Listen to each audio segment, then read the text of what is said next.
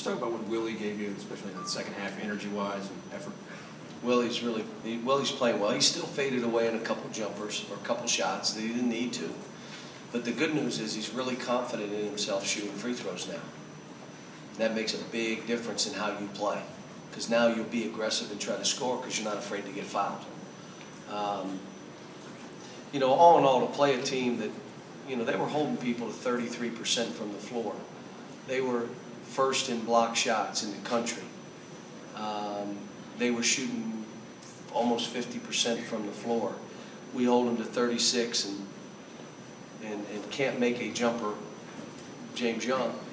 And, and, you know, still played okay. I thought, again, we got better. We got better because the Twins played harder, longer. They're still a ways away. Let me just tell you, they're a ways away. But they played harder. Um, I thought Julius in the second half ran the floor and did what he had to. But I'm going to tell you, we're going back to old school. Um, and I'm, I'm going to ask like a dumb question. Any of you ever play basketball or you just write? If you ever played, if you ever played, do you ever see when they used to tell you to put your hands behind your back and defend that way? That's how we were all taught. Now, you never played any sport, so don't say anything. Now I'm about to say something Yeah. But they made you put your hand behind your back, both hands, and defend the guy as he's trying to go around you, because the only thing you could do is move your feet. Guess what we're gonna do? We're going back to that. Now, you may say, well, that's seventh grade. I don't really care. What we did prior to leg work, do you guys know what wall sits are? Do you know what wall sits?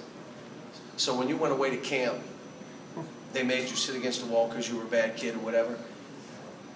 Our pre, my talk to the team before practice for five, six minutes is their wall sitting. And they're pushing, they're carrying a 50 pound bag that they got to pass to each other. For like six minutes, they wall sit. Why? Because I can't get them to get in a defensive stance. So at least for seven minutes of the day, I know they're going to be in a defensive stance. They're going to be down. Then we did leg work. Do you remember leg slides? Where you're competing against the guy and you're touching the line, you have to slide, slide, slide, slide. We did that. Now we're going to put lines on the court and you got to keep the guy in front of you and not let him around you with your hands behind your back. So it's what we got to do. I mean, I, again, we're, we're getting better. We're showing signs. Um, Coach Hall made me feel really good yesterday. Said, would you stop? You got a, the youngest team in the country. Just, they're going to come, and then that's always going to come on your terms. It's, it's going to hit them at some point. It'll hit them, and you'll say, wow, they're finally figuring it out. We're not there yet. John, two things, based on what you just said. Are the fundamentals just that bad that you're doing that? No, it's, they, it's all about, it's not fundamentals. They're, they're good basketball players. They got good hands, they can catch, they can pass, they can dribble, they can shoot. It's nothing to do with that. They have always played comfortably. They never have put, well, like we're doing leg work and the one kid says, my legs are burning.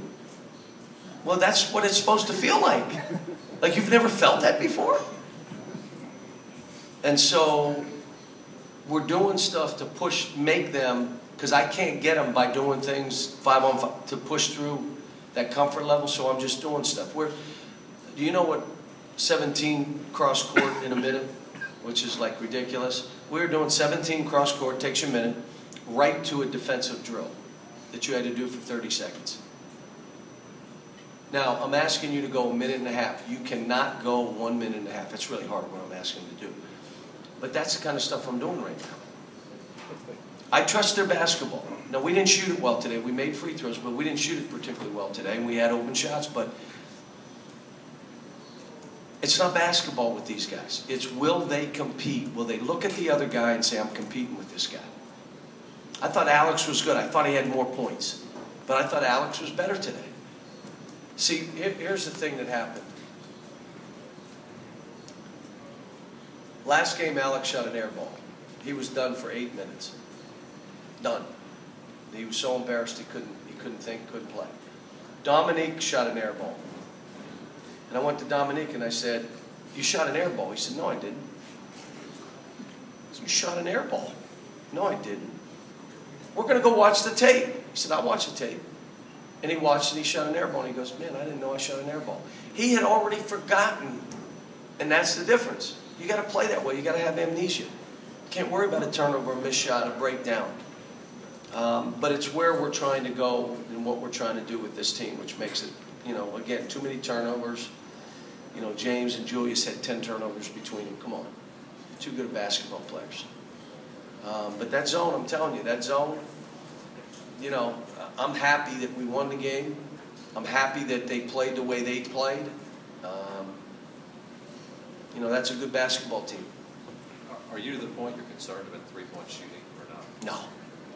No, you know we don't rely on three. I've never played coach that way. If we make them, we beat you by 30. If we don't, we're just trying to win the game. You know what I'm saying? You just, I don't, the three is not, I don't play it that way. I think part of the reason my guys go to the next level and play well, we're teaching them how to play basketball, not a shooting contest. We're teaching you how to play. If we make threes, great. If we don't make threes, we're still able to win the game. Because I'm teaching you how to drive the ball, play off of one another, play when you're not making shots. I asked James today, it was your C game, but you still did enough to help us win. You still rebounded the ball, you still came up with some balls, you defended better, you know, so. John, and over here, another slow start tonight, something you talked about the other night. Have you had teams in the past, just the personality is they start slow and there's not a lot you can do about it? Well, part of it is the other teams we play here, this is like a big thing. Like they walk into that arena, 25,000 people. Jerry will give you exact attendance, but I think it's 24, 25,000 people. And they walk in and they're like, was it less? More. More? More. So today we had 26,000. But they walk in and they see a packed arena and they're, it's, it's, how many times have they had that opportunity? And then to beat Kentucky? I remember Mark Gottfried told me, you have to have no idea, Cal. If we beat Kentucky in Lexington when he was at Alabama, he said, I didn't sleep for a week.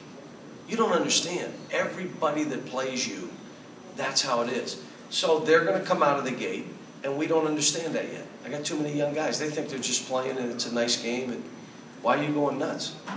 Well, they're, fighting. They're, they're, they're, they're going to, we have to figure it out, and we're going forward.